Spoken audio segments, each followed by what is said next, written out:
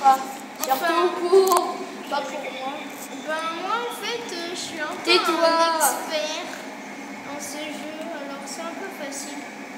Et t'es sûr que t'as vu Il y a un zombie Oula, cette zombie, il est assez rapide, je trouve.